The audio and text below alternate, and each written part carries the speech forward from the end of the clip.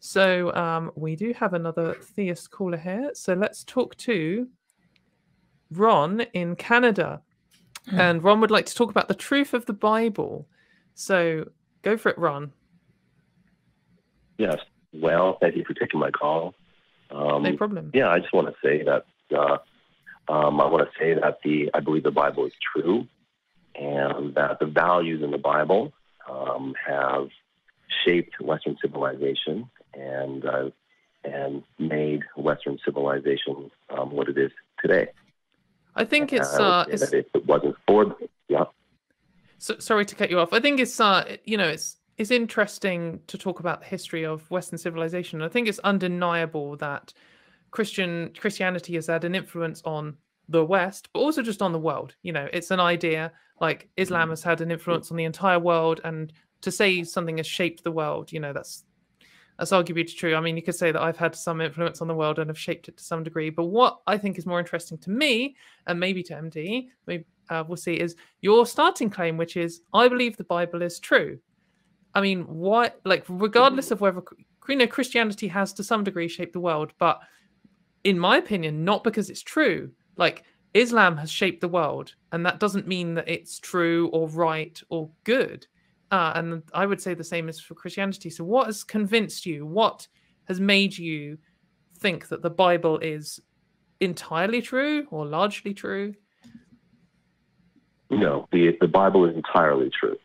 I mean, if I were Okay. to drop one part of the Bible and call the one part of the Bible silly or wrong, then I would have to call all parts of the Bible wrong. Yeah, so that's a good step. I, I agree with you on that. So, what what has convinced you that the um that the Bible is true? Well, um, I believe that the Bible contains a, basically an ancient uh, technology that's a wisdom that has revolutionized um, Western civilization and made For sure, but like, so the Quran well, contains yeah. uh information that has you know shaped um like well, I you know the areas in which Islam is the East, perhaps. Um, so so that that has wisdom, and and that doesn't make that true, right? You surely you don't believe that like the Quran is true or that Buddhism is true, or so there's got to be something special no, about the Bible. right. That's right. Just because it was influential doesn't make it right necessarily. Yeah. I agree with you, but I feel that it was influential for the positive.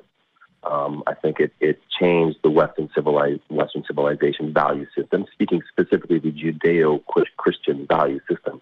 Uh, Right, but why- Christianity both I, I, I know. I, so I, I'm not I'm just trying to steer you back onto this this truth claim. Um, for sure, I'll, I'll just totally agree with you. Christianity, Judaism, Islam, Buddhism, they've all shaped the West, and so they've had they've arguably done some good stuff, and they've arguably done some bad stuff. That's cool. Maybe even you think Christianity is the best of those, but why is it true? Why are you convinced? What is your reasoning? You know, you open the Bible and you're like, "Wow, this is true." Or why did you open the Bible in the first place? Right. What what has convinced you that it's true?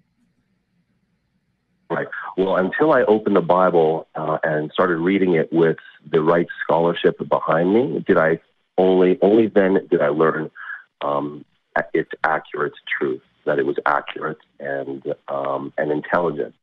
Uh, when I initially picked it up, I, I read it on my own and I misinterpreted everything and I didn't understand it. So I believe it's true. I believe it's true because I believe, well, I believe God gave and revealed himself um, at Mount Sinai. Uh, Okay, but Ron, um, you're you're you're not quite answering the question that Katy's been asking, right?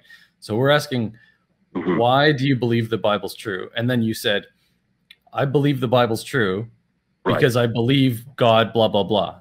I don't want to hear like another Yeah. belief claim. I want to hear what Right. specifically convinced you that what the Bible is reporting is accurate. Right. That's fair. You're right. You're right. Um, well, I believe that the Bible is so great, uh, that the wisdom contained within the Bible is so great that it could not have been man made. I don't have proof like I would find in a, in a, in a laboratory that was definitively created or inspired by God, but it, I would say that So- it has to be. Um, So this is um this is actually a common argument. I've seen from Muslims, and they often say that the Quran is so great, like it just cannot been uh, cannot have been written by a human, or even that it can only have been written by a god. Mhm. And so if if a Muslim comes Mhm. up to me and they're like, "Well, the Quran is true because it is so well written that it has to have been written by God," and you come up to me and you're like, "Well, the Bible is true because it's so well written, it has to be written by God," I am now stuck in a position where even if I think, well, actually, a human could have written the Bible, and I think a human could have written the Quran, that's we can go into that argument next. But I think the first step is what you know what you said you don't have maybe proof that it's so difficult that only a god could have written it or something or inspired it or whatever mm-hmm. how, whatever your position on this mm-hmm. is what how am i separating you and as a christian and a muslim A number of both a telling of me the ways. same a number of ways. okay what why is Right, why is a the number bible Number one. more impressive or truer or Well, let me explain. sorry go ahead yeah go ahead sorry. Um, The Bible is, is impressive and inspired so many people uh, because it, um, it it could not have been made by by humans alone. It does not seem to me that humans would have made the Bible alone. History and civilization, all civilizations up to, to that point, all created their own religions. So there are many examples of what human created religions looked like. Human relig- created religions were human based they had human gods were of human qualities. They had Like human Jesus. feelings. They had they were uh, well Jesus. Um, I'm saying preceding the gods, the God of Sinai, the gods. I'm saying that the people. Um, I'm creating the context of why I think that the God of of Sinai So. Ron, do you, do you? I, I'm sorry to cut you off. Yes. I just want to make a point. So you're saying some, you're you're sort of listing things that distinguish Christianity from other religions, right? Uh, well, I'm speaking of Judeo-Christian values. I'm not Right, sure. Um, Christian. My my point is, I think that it's kind of arbitrary to say, oh, well, Christianity is true because it was the first one that had, you know, a human or or whatever, a non-human type God. It's like, well, that's kind of an arbitrary thing, right? Like, why is that? Like, like I, what we're really looking for, I think, is something that is like, this could only point to a God. This could only point to the fact that this is divinely inspired. So what's the what's the property of Christianity or property of the Bible that makes it impossible for this to be human created? Well, well, um, it, it's it's very unlikely. I wouldn't say it's impossible, but very unlikely that it was human created because, for example, Okay, like I so said, let's pick up on examples that. we have. Is it is it less is it the is mhm. is the likelihood that the Bible was written by humans is that less likely than uh, like the existence of a god? Like you have to compare these two things, right? It's like if your alternatives are we're Well, we're positing a supernatural entity that no one has ever been able to like provide definitive evidence for versus a book being written by humans a very Also, that's wise false book perhaps. That is a Yes, it is a false dichotomy. because like if I found a book, if I found something and I was like, wow, there's absolutely no way humans made this, my first thought would, as I've already said in the show, be aliens. Because they're like, Sure. oh, this must, must be met some mad aliens somewhere. So, W- w- you know, we, we could say thing. Mhm. I don't. We, would we would need so Uh-huh. on top of what MD was just saying, we would need not just to prove that humans couldn't have done this, um, and and it's likely, you know, we could say, oh, it's it's very difficult for them to have made this, but we've got to show that something else is more likely, but also then that it wasn't just something else we don't understand. Mhm. It doesn't get us to God. Well, okay. Well, I believe that there are a hundred, I would say a thousand reasons why I believe that the Bible is true. Um, because and What's all, your top all one? those little reasons are embedded within the within the Bible itself. For example, why would the, the Bible, the five books of, of the Bible, um, why would they begin? Why would the first book begin not about people or about a specific people? I mean, there are lots of books that don't start about people, though, right? but but also why does that matter like who Yeah, cares why- why- aren't. How does that how does that point to a god. Yeah. It's it's non because it's non-chauvinistic and it points to a very anti so what uh, behavior. because humans want to start all the gods that preceded the god of Sinai were very much glorification of humans. I mean, they had gods, hum, gods that were human and humans that but, were gods. But, but the it's Genesis, right? That says uh, God made humans in His own image. So we, that's just mm-hmm. Yeah. So so now we've got humans that are godlike, right? Because they're made in His image. You're asking me, yeah. Yeah. Yeah. So I mean that that reads the same. I don't see how this points to a god. Like like again, I'm looking for something, some property that okay. specifically why, why, points to a god without any of this inferential. Well, probably well compared to other things at the time. Like eh, it's uh, it's very wishy washy. Well, other me. things at the time. Well, it's it's it's very, I don't think it's wishy washy. I think humans have a, a, certain way of behaving. And when a book comes, is, is, is created that is entirely um, um, not natural for a human to create, then it raises questions. Why would a human create a book that is so unheroic of itself? It did not happen in history. I, am not no convinced of that claim at all. I'm sure there are loads of other books that do that. I mean, well, there are not. I mean, we have we have a lot of examples of gods in the past. Were, every god prior to the god of Sinai were men uh, were, were, natural so, nature know, gods. So, Ron, I know you've mentioned this Judeo-Christian thing, which I actually wanted to pick up on, but I think maybe it's relevant here. If like so, the the start of the Bible is shared between Christianity and Judaism, right? Mm-hmm. And you think that everything in the Bible is true, but the Bible is actually different to, you know, all of the books that the Jewish uh, people consider true. Um, and their religion also starts in the same way. So if we want to say the first religion that's if your criteria for a a religion, a holy text being true, you know, full of it, all of it is true, mm-hmm. is that it was the first one written where it starts talking about God rather than humans, then that's Judaism. That isn't Christianity. And you can say mm-hmm. Judeo Christian, but right. these two religions are mutually exclusive. Uh, only one of them can be true. Mm-hmm. Um, and they, they contradict each other. And if exclusive. Christianity is true, then it can't be just that it was the first one that had, you know, talking about God, because that was, I mean, I would be very surprised if Judaism was the first, but at least Judaism was before it. I don't think Judaism and Christianity are mutually exclusive. I think they are well, entwined. One of them claims that Jesus was a god, system. and the other one says he wasn't. But that those are questions of theology. That's those are not. Uh, well, that's kind of a key factor in Christianity. Like that. That's you know the Bible yeah. says very explicitly, right, that that Jesus is mm-hmm. the Son of God or, or is God or how, however. I mean, it, it definitely it makes a claim that the Jewish faith does not agree with.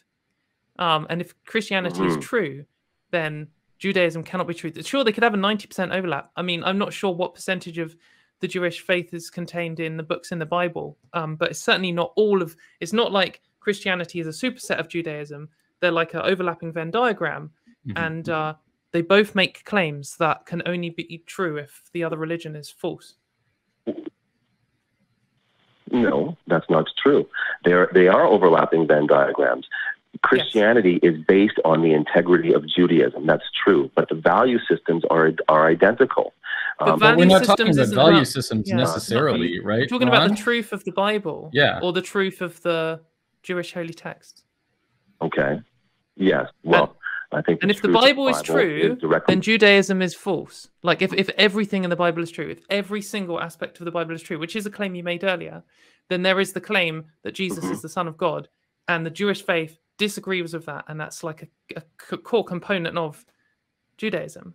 Um, and there are other claims in the Bible. It is. Judaism you're right. You're right. That is a that is yeah. a core component of Judaism. You're right about. But that so they are mutually exclusive. Question.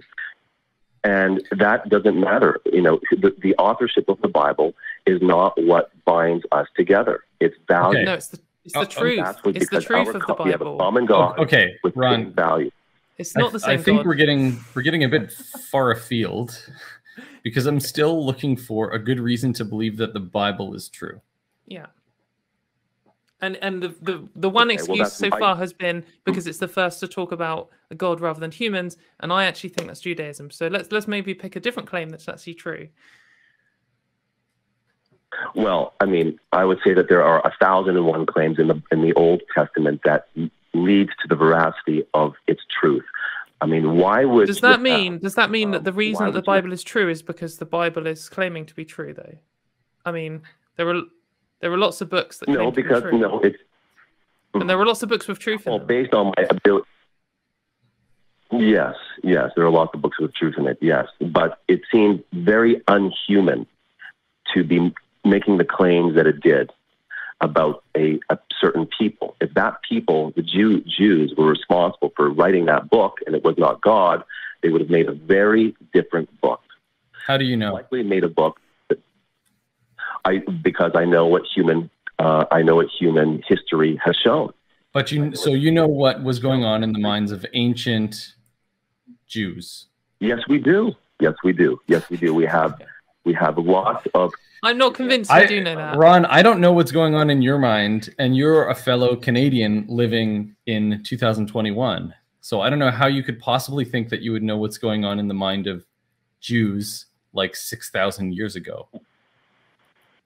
Well, we have written records. There's a there's written their heart cuneiform. Sure, and I consider the Bible to be one of those written records.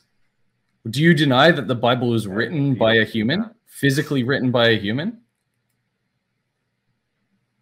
Yes, I do. I, I believe it was written by a human, many humans, inspired by God. Okay, so we know, so all we really know is that Jewish people wrote, say, Genesis, and also they wrote other stuff, right? I don't see how a God fits into this. They and, wrote it. and I'm really not convinced. They wrote it, but they didn't inspire. hmm So how do you know that it was inspired? I, I think, like, I don't know. I don't know. What do you think, Katy? Like, I think Well- we, I think we've sort of drilled down to the issue, but I don't know that we have time to go into this in huge yeah, detail. I'm I'm just I don't think- thinking I don't that think you're accepting my answers. I don't think Well, you're accepting my answers. it's I not necessarily it's think- not that I, we're not listening to your answers it's i think that we're unconvinced by your answers i mean i feel like you know the the claim Right. of the bible is true um and uh, you know if i if i wanted to say you know this paper that md has just written is true uh for shooting lasers at cancer cells or whatever then we can look at the evidence and he's going to provide some evidence in the paper and for sure you know the paper pro- is like Yeah. its own truth claim but it's it's providing here is the evidence that we can look up and here is the conclusion and we can we can discuss that about whether the evidence supports that conclusion and stuff. And if you know if i say well why is the bible true fully true? To show that the bible is partially true we can say well the bible claims that you know the sun comes up in the morning or something or whatever and we can go and see that there's evidence for that. But to, to claim the whole bible is true we need some kind of evidence to show that this whole book is true. We could go through all of the claims in the bible and provide evidence for them individually and maybe that would be we could then come to the cl- conclusion that the bible is fully true because we've evidenced every single claim. But i feel like that's not the position here. It's more that the bible is giving us you know it, it itself is evidence. It's it's true because of a reason. And i'm saying well what's this reason? And you've said there's lots of different reasons and maybe you know we need to provide lots of them. But the first one you provided was well humans um, are very arrogant and they like to write books about themselves and this one isn't and it's the first one but i actually don't think it is the first one. So i think the issue here is like you know that isn't that isn't convincing evidence for me. Even if the bible was the first book ever written where it didn't talk about humans and i was like wow this is so out of character of humans because humans are stupid and arrogant as shit and they they love writing about themselves and in this book they've written about god first. Like wow that's interesting. That is historically significant. I wouldn't see that as evidence for god at all. I mean personally i that doesn't even arguably Well, convince that's me. I'm just like piece of evidence. this is just the first one that's done it. i mean piece of for It- it- example it, doesn't even register as uh, as being supportive of the claim to me. Yeah, I think it's just. I mean, it's potentially an interesting fact, but like you know, someone was the first person to play a guitar with distortion, and that doesn't mean that Mhm. God did it. Uh, it's just really cool, and it's just everyone was like, "Wow, that's a really good idea," so I'm going to copy that. Um, Well, it's yeah. I mean, anyway, it goes on. That, that's one reason. Well, okay. I mean, there are there are a thousand examples of that in the Bible. that show that it's not something that a man or humans would have produced. I, I think you so have think, to. I think you have to work on humans, Ron. You have to work on finding evidence that directly points, not just through inference or anything like that. Right? Not just, I don't think this is what humans would have produced. You have to find something that directly points to a god did it. Right? Like Katy said, maybe it was aliens. We don't know. You have to point. You have to find something that points directly to the cause that you're proposing. So, I'm um, so sorry to cut you off, Ron. Um, I just want to say, like, you know, this is an interesting topic. I think um, we might have to. We w- would like to squeeze in one more call, so I think we're going to have to move on. But perhaps uh, next time, if you could come up with like your top five, um, you know, best pieces of evidence or something like that as to why you think it could only be written by God. Like that'd be great because it's like a that's the kind of thing we want in this show. Is like here is my evidence, and then we can discuss the evidence. Um, and we're not convinced by God being the first thing talked about. So there are there is still one more thousand pieces of evidence that you can come with, sort out like the top ten or something, and call back in. But thanks very much for your call.